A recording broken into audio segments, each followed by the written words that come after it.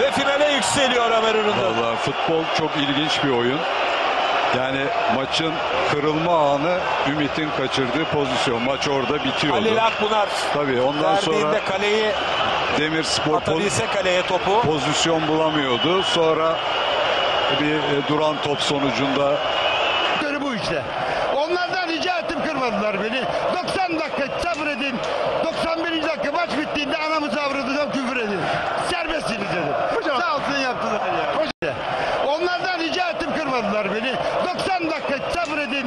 91. dakika maç bittiğinde anamı savradı.